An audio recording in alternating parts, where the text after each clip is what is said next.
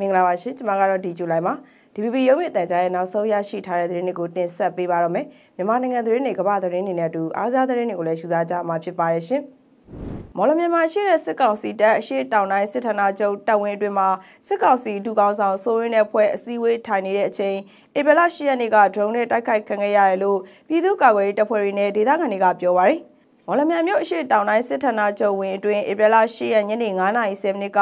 စစ်ကောင်စီဒုကောင်ဆောင်စိုးရင်းအစည်းအဝေးလုပ်နေတဲ့အချိန်ရှားထူော်နီးပညာတပ်ဖွဲ့ရဲ့ Alpha Vest တပ်ဖွဲ့ကမြေပြင်လုံခြုံရေးတပ်ဖွဲ့နဲ့ပူးပေါင်းပြီး Fit Win Drone နဲ့တိုက်ခိုက်ခဲ့ပါတယ်။တိုက်ခိုက်မှုကြောင့်ဒုကောင်းဆောင်စိုးဝင်းနဲ့ရတခတိုင်မှုတို့ကအစည်းအဝေးကိုချက်ချင်းရပ်ပြီးနောက်ထပ်ဒရုန်းတိုက်ခိုက်မှုကိုကြောက်ကဖော်ကာနဲ့ကြက်နစီလဲချက်ချင်းပြန်တက်သွားခဲ့တယ်လို့ဆိုပါတယ်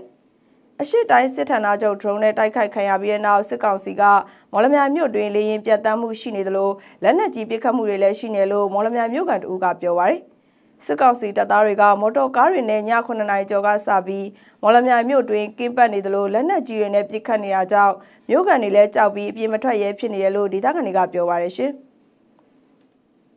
ရန်ကုန်တိုင်းတိုက်ကြီးမြို့နယ်ဂျိုးပြူအခြေဆိုင်အမှတ်1တမ်းမြင့်လေးကျင်ကျောင်းအတွက်စစ်မှုထမ်းဖို့စင့်ခေါ်ပေးနေတဲ့ကျေးရွာအုပ်ချုပ်ရေးမှုနဲ့ယာယီမှုတွေကိုပြည်သူ့ကာကွယ်ရေးတပ်မတော် PDF အဖွဲ့ကတတိပေးချင်းချောက်စာပေးပို့ခဲ့တယ်လို့မြို့ကန်နေစီကနေသိရပါဗျ။တကကတိအခြေစိုက်ထားတဲ့တိုက်ကြီးမှာကြေးရွာအုပ်ချုပ်ရေးမှုနဲ့ရာယမှုတွေဟာစစ်မှုထမ်းဆင့်ခေါ်ရမှာစစ်တပ်အလို့ကြလိုက်လံစင်းကောက်ယူပြီးလူငယ်တွေကိုချက်ချင်းတင်တန်းကြောင်းပို့နေတာလို့ကြေးရွာနေသူတို့ကပြောပါရယ် ဒီလိုအုပ်ချုပ်ရေးမှုတွေနဲ့အနိုင်ကျင့်စော်ကားမှုတွေကြောင့်ဧပြီလ6ရက်နေ့ကဖလုံပူရာကျေးရွာအုပ်ချုပ်ရေးမှုရုံးမှာ PDF အဖွဲ့တွေကသတိပေးချင်းချောက်စာကတ်ခဲ့တယ်လို့ဒေသခံတို့ကပြောပါရယ်ကျေးရွာအုပ်ချုပ်ရေးမှုနဲ့ရိုင်မှုတွေကို PDF အဖွဲ့တွေကချင်းချောက်သတိပေးစာတွေစစ်မှုထမ်းစစ်ခေါ်စဉ်ကာလတွင်မကြာခဏကြုံရပြီးဖလုံပူရာဖြစ်စဉ်ကြောင့်လုံခြုံရေးတိုးမြင့်ထားရတယ်လို့အုပ်ချုပ်ရေးနဲ့နှိဆက်သူတူကပြောပါရရှင်။တိုက်ပွဲကြောင့်စိုးရိမ်ကြတဲ့ဗမော်မြို့ကန်တချို့ကြိုတင်စစ်ရှောင်နေကြရပါတယ်။ KIA ဘက်မှာတော့ဗမော်မြို့အနာစစ်ရေးလှုပ်ရှားတာမရှိသေးဘူးလို့ပြောပါရယ်။စိုးသူအောင်ကတင်ဆက်ပေးထားပါတယ်ရှင်။စစ်ကောင်စီတပ်နဲ့ကချင်လွတ်လပ်ရေးတပ်မတော် KIA တို့ရဲ့တိုက်ပွဲတွေဟာဗမော်မြို့နားထိကပ်လာတာကြောင့်စိုးရိမ်ကြတဲ့မြို့ကန်ထောင်ထဲချီပြီးကြိုတင်စစ်ရှောင်နေကြပါတယ်။ KIO KIA ပြောခွင့်ရသူကတော့မိုးမောက်မြို့နာကကြောက်စခန်းရွာမှာ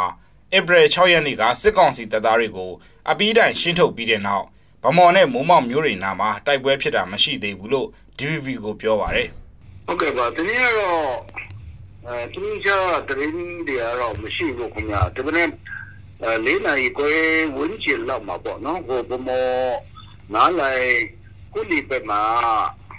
စကားစားပဲကနေလေချောင်းနဲ့ဘုံကျဲတိုက်ခိုက်တာတော့ရှိပါတယ်။အဲ့ဒီမှာကျွန်တော်တို့ကေရတပ်ဖွဲ့တွေပေါ့နော်နေနေလုံခြုံရေးအဲ ပြပတ်နေတဲ့လှုပ်ရှားနေတဲ့နေရာဘက်မှာတော့ဘုံကျဲတာရှိပါတယ်ကျွန်တော်ကြားတာတော့ပဲကြားပါတယ်ဟုတ်ကဲ့ဘုံမောကတော့အနာကတ်တဲ့ပုံစံမျိုးတော့မရှိသေးပါဘူးနော်အာခုနပြောတဲ့ဒီမုံပေါက်တောင်မှအဲဒီအနာမှာ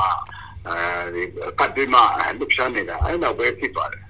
ဒါပေမဲ့ဗမော်နဲ့9မိုင်တတပဲဝေးတော့တဲ့မိုးမောက်မြို့နာတီကိုတိုက်ပွဲတွေရောက်လာတဲ့အပြင်မန်စီဘက်မှာလည်းလက်နက်ကြီးပစ်ခတ်မှုတွေကြားနေရတာကြောင့် မြို့ကန်တွေကတော့ဗမော်မြို့နာတီတိုက်ပွဲဖြစ်လာမှာကိုစိုးရိမ်နေကြတာပါဒီကျွန်တော်ကိုယ်တိုင်လည်းလိုပဲဟိုဒီမှာနေနေတော့တရားတွေနေလည်းဟိုချောင်ပြတာများတော့ကိုယ်တိုင်လည်းလို့လုံခြုံမှုမရှိဘူးလို့ခံစားနေရတယ်။တိုက်ပွဲတိုက်ခြင်းမတိုက်ပြီးတော့သူတို့လက်နက်တိုင်ရတဲ့အဖွဲ့အစည်းတွေပေါ်မှာလူကြည့်ရတယ်။ကျွန်တော်ကိုယ်တိုင်လည်းဒီလိုပဲမြို့မှာနေနေမှလည်းမျိုးတိတ်မလုံခြုံလို့ပဲခံစားမိတော့ပါတယ်။ တချို့လည်းဟိုတခြားလူမဲ့ဒီမင်းများကြီးကြောက်ရှိကြပါတချို့လည်းကိုယ်နေမှာပဲနေကြပါပါတယ်။တခြားကြောက်ရှိတော့လည်းဒီချိန်လောက်လည်းမလို့လေတော့သူတို့မှလည်းလုံလောက်တဲ့ဒီကိဥစ္စာတွေနဲ့ရှိတော့တခြားမျိုးမှာလည်းအခြေချနေကြတယ်။မြို့ပေါ်ရက်ကွက်73ခုဝန်းကျင်နဲ့မြို့နေလူထု33000ဝန်းကျင်ရှိတဲ့ဗမော်မြို့မှာဒေသခံတွေထောင်ထဲချီပြီးနေရဆွန့်ခွာနေကြပေမဲ့မြို့ကနေထွက်ခွာသူစီးရင်ကိုတော့ပရိုက်တာအဖွဲ့တွေကလည်းမကောက်ယူနိုင်ကြသေးပါဘူး